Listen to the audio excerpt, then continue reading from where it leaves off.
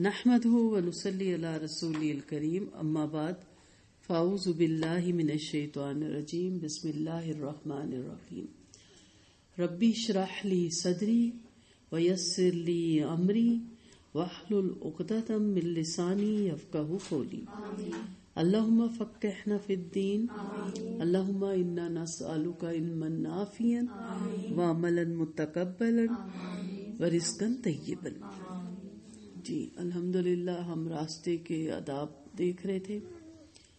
اسی کو آگے لے کے چلتے ہیں۔ پچھلے پوائنٹ صرف اس کی ہیڈنگ جو ہے نا، ہیڈ لائن بورڈ دہرا دیتی ہوں۔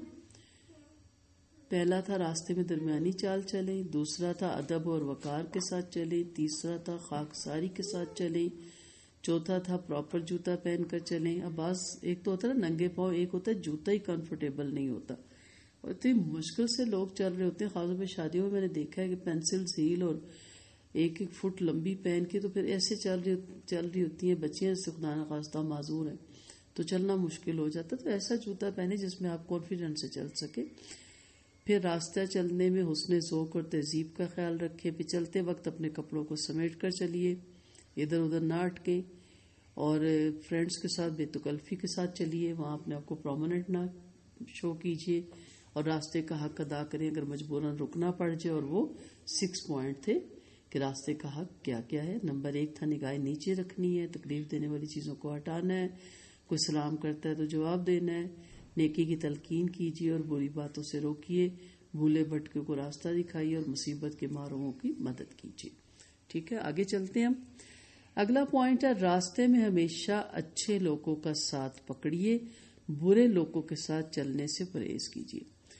کوئی ایسا سفر ہو، جیسے شاپنگ ہی ہوتی ہے، خواتین کا زیادہ تر یہی ہوتا ہے، یا گروسری کا سامان لینے جانا ہے، یا کسی کی خدا نخواستہ ڈیتھ کی خبر آ گئی ہے۔ تو آپ نے دیکھا ہوگا نا، بعض بعض کے ساتھ ہی پروگرام بناتے ہیں اور ہم کہتے ہیں یہ تو اور کسی کے ساتھ جاتی ہی نہیں۔ اس کی بیسک وجہ ہوتی ہے کہ انڈرسٹینڈنگ ہوتی ہے، مزاج ایک ہوتا ہے، ایک طرح کی سوچ ہوتی ہے تو سفر اچھا گزر جاتا ہے۔ اب رفقہ سفر بالکل آپ کے ہم مزاج نہ ہو۔ جیسے اگر میں ناچیز گناگار اپنی مثال لوں تو میرے ساتھ اگر کوئی ایسا بیٹھ جائے جو فاسٹ میوزک لگانا پسند کرتا ہو گاڑی میں، تو میں اب یہ تو نہیں کہوں گی جی آپ نہ لگائیں، کیونکہ اس کی گاڑی ہے یا وہ میرے ساتھ جا رہا ہے تو اس کے مطلب تو نہیں کہ میرا پابند ہو گیا، تو مجھے برداشت کرنا ہے یہ سوچ کے کہ میرے ساتھ یہ جا رہا ہے، اب اس کو بھی مجھے نہیں ٹوکنا۔ اب میں کیسے تصویرات وہاں کر سکتی ہوں؟ نہیں کر سکتی، آپ کیسے کر سکتے؟ نہیں کر سکتے پھر باہر آپ قدرت کے نظارے دیکھ سکتے ہیں، بہت کچھ سفر میں آپ سیکھ سکتے ہیں۔ لیکن اب رفقہ سفر آپ کا اس طرح کے مزاج کا کوئی بھی آپ کی دوست ہے کزن ہے یا وہ کہتی بھائی میں تو بور ہوتی ہوں۔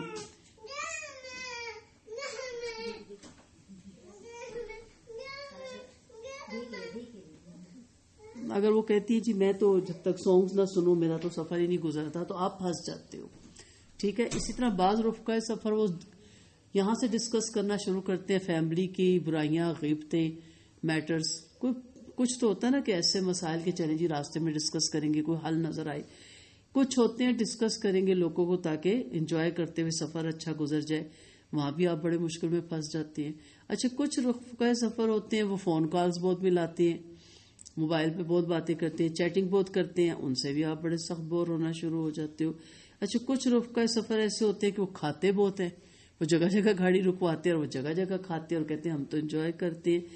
آپ کا کیا مزاج ہے؟ آپ کو یہ دیکھنا ہے کہ آیا آپ ان کی گاڑی میں بیٹھ رہے ہو یا آپ ان کے ساتھ گروسری لینے جا رہے ہو؟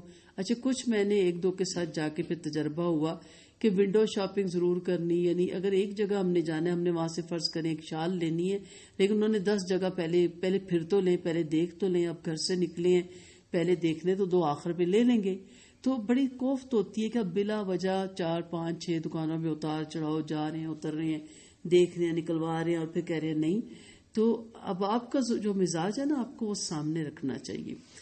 اچھے لوگوں کا ساتھ پکڑیے، ٹھیک ہے۔ برے لوگوں کے ساتھ چلنے سے پرہیز کیجیے۔ کوئی ہوٹنگ والا آپ کے ساتھ چلا جائے، آپ تو پھنس گئی نا۔ ہر بات وہ کہہ کے لگا رہی ہے یا لگا رہا ہے، یا سیٹیاں مار رہی ہے، یا مار رہا ہے، یا ہوٹنگ کر رہا ہے، یا وہ اس کو پرواہ ہی نہیں ہے کہ ارد گرد کوئی لوگ دیکھ رہے ہیں تو آپ تو ساتھ بڑی مشکل میں پھنس جاتی ہیں۔ ہاں اگر آپ کا بھی مزاج خدا نہ خواستہ ایسا تو پھر تو ٹھیک ہے۔ مکھی کہتے ہیں نا، گندگی دیکھ کے ہی بیٹھتی ہے۔ تو وہ ایک الگ موضوع ہے، لیکن نفیس بندہ جب بھی کہیں جائے تو وہ یہ دیکھے کہ ہمارے ساتھ کون جا رہا ہے اور اسی کے ساتھ بیٹھے جس کے ساتھ آپ برداشت کر سکیں اور آپ کا امام مزاج ہو۔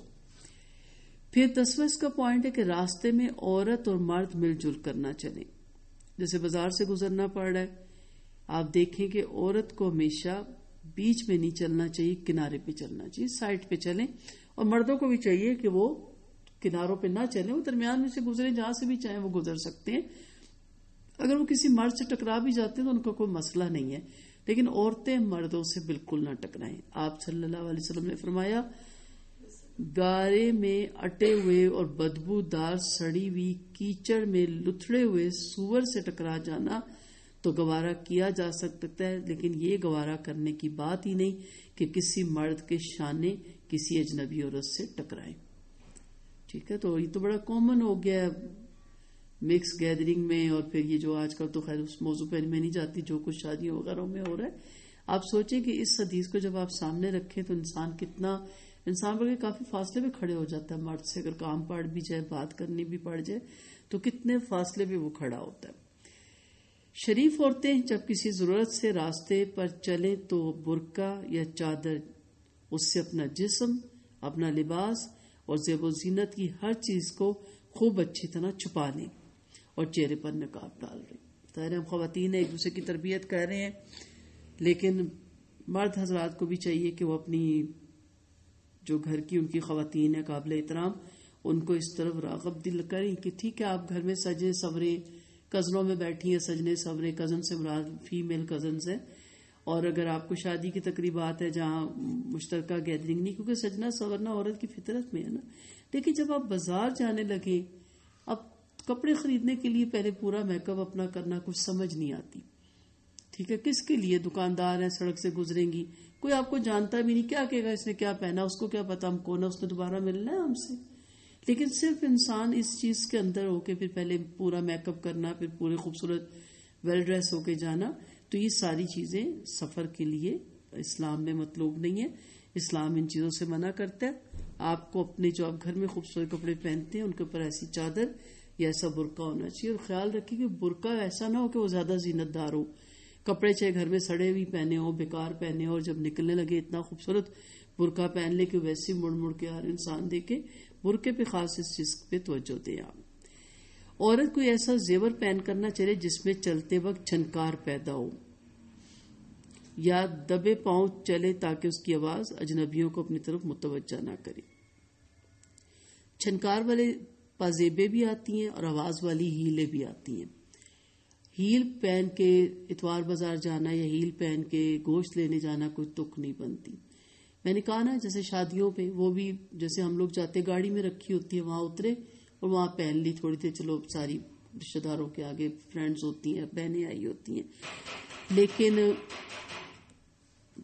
لیکن اس طرح روڈ پہ ٹک ٹک ٹک کرنا، روڈ بھی کراس نہیں ہو رہا ہوتا، پینسل، ہیل یا کوٹ شوز اس طرح کے پہنے ہوتے ہیں جس کی ہیل ہوتی ہے تو باقاعدہ اس کی آواز آتی ہے اور اپنی طرف پھر متوجہ کرتی ہے۔ تو ایسی کوئی چیز بھی، صرف اس میں نہیں کہ پازیبے پازیبے تو بغیر اس کے چھنکار کی بھی مل جاتی ہیں، کوئی ایسی چیز مت پہنے جو آواز دے۔ مسجد میں ایک دفعہ یہ مسئلہ ہو گیا تھا۔ بہت پرانی بات ہے کہ جب تراویاں ہم پڑھتے تھے، تو جب وہ اللہ وقبے کے رکو میں چاہے تو ساری چوڑیوں کی چھنکار آتی تھی۔ ہر ایک نہیں پہنی ہوتی تھی۔ تو پھر مولانا صاحب نے کہا کہ جو ہماری بہنیں تراویاں پڑھنے آتی ہیں، اوپر والی منزل پہ نیچے تک آواز بھی آتی تھی تو وہ یا تو انہیں پیک کریں یعنی پینشن لگا کے، دبا کے رکھیں یا اتار کے آئیں۔ کیونکہ باقاعدہ پھر ہم نے نوٹ کیا، جب اللہ اکبر کر کے پوری جماعت رکو میں جاتی تو چھنک کی آواز آتی تھی نا، ٹکراتی تھی چوڑیاں۔ پھر اس طرح اٹھے تو جب آپ ایسے کرتی ہیں، اللہ اکبر کرتی ہیں، تو وہ دوبارہ چھنکتی تھی۔ تو اس لیے اس چیز کا خاص خیال رکھیں، گھر میں آپ سجے، صبر اسلام کنجسٹڈ نہیں ہے۔ جو مرضی پہنے آپ عزیبے بھی پہن سکتی ہیں، لیکن جب آپ باہر نکلیں تو پھر غیر محرموں تک اس کی آواز نہیں جانی چاہیے۔ پھر عورتیں پھیلنے والی خوشبو لگا کر راستے پہ نہ چلیں۔ پاؤڈر لگا سکتے ہو آپ، اس کی وہیں خوشبو رہتی ہے آپ کے جسم تک، لیکن پرفیوم مت لگائیں، عطر مت لگائیں۔ یہ جو عطر ہوتا ہے نا، جس کی خوشبو بہت زیادہ پھیلتی ہے۔ اچھا اب تو یہ جو باڈی سپرے آ گئے، اس کے بارے میں اب سختی سے منع کیا جا رہا ہے۔ جسم میں فنگس ہو رہا ہے، بہت سی جسمانی الرجیاں ہو رہی ہیں۔ تو بہت بچیوں اور بچوں میں یہ چیز ہو گئی ہے کہ نہا کے اسی وقت ہی ساری باڈی سپرے کرنا، اس سے اجتناب کریں۔ یہاں تک اب ڈاکٹر حضرات کہتے ہیں کہ آپ کی جو بھی خوشبو ہے نا، باڈی اور آپ کی اسکن کو ٹچ نہ کرے کپڑے تک ہو۔ جیسے مرد حضرات پرفیوم لگاتے ہیں آفیسز میں، تو کوٹ کے اوپر ہو، لیکن اسکن میں نہیں۔ ہمارے کیا ہوتا ہے گردن میں ہم یوں کرتے ہیں نا، دونوں طرف، یا ہاتھوں پہ یوں کرتے ہیں کہ کوئی ہاتھ ملائے گا۔ تو بہت سی اسکن کی ڈیزیز اس سے پھیل رہی ہیں۔ تو ویسے بھی اس کو منع کیا جاتا ہے۔ تو عورتوں کو تو اس طرح کی خوشبو لگانی ہی نہیں چاہیے۔ ایسی عورتوں کے بارے میں نبی کریم صلی اللہ علیہ وسلم نے نہایت سخت الفاظ فرمائے ہیں، جو پرفیوم لگا کے نکلتی ہیں۔ حدیث کا مفہوم یہ ہے کہ اس کا زنا کے برابر ایک قسم کا گناہ ہو جاتا ہے۔ کہا گیا کہ جب تک آ کے وہ غسل جنابت نہ کریں غسل نہ کریں ان کو نماز نہ پڑھیں یعنی سختی کی وجہ سے کہا گیا یہ نہیں کہ آگے لازمن کرنا ہے یعنی اس قدر ہی ناپسندیدہ چیز ہے۔ اور دیکھیں خوشبو لگی ہو تو اٹریکشن ہوتی ہے۔ کوئی گزرے ہم کہتے ہیں کتنی خوبصورت خوشبو آئی ہے۔ تو اس کی طرف متوجہ ہو جاتا ہے انسان۔ گھر سے نکلے تو دعائیں ضرور پڑھیں، وہ انشاءاللہ ہم دعائیں سیکھیں گے۔ بسم اللہ توکل تو اللہ ولا حول ولا قوت اللہ بلّہ العظیم۔ پھر سفر کے جب ہم اداب پڑھیں گے نا، آگے مزید تو پھر ہم اس میں وہ دعائیں بھی یاد رکھیں گے، ابھی راستے کا ہم پڑھیں۔ تو دعا ضرور مانگ کے نکلا کریں۔ اور پھر اسی طرح حضرت عمر بن خطاب رضی اللہ عنہ کا بیان ہے کہ نبی کریم صلی اللہ علیہ وسلم نے فرمایا، جو شخص بازار میں داخل ہوتے ہوئے یہ دعا پڑھ لے، خدا اس کے حساب میں دس لاکھ نیکیاں درج فرمائے گا، دس لاکھ خطائیں معاف فرمائے گا اور دس لاکھ درجات بلند کرے گا۔ یہ آپ کو پیار رسول کی پیاری دعا میں لکھی ہوئی مل جائے گی۔ ترمزی کی روایت تھی، لا الہ الا اللہ وعد لا شریک له لاہ الملک و لا الحمد، یحیی و یمیت یہ میں بھی تیسرا کلمہ کہلاتا ہے، مجھے یاد بھی نہیں آتا، چوتھا؟ یہ چوتھا کلمہ ہے اور یحیی و یمیت و ہوا حی لا یموت بیدی الخیر و ہوا علی کل شین قدیر۔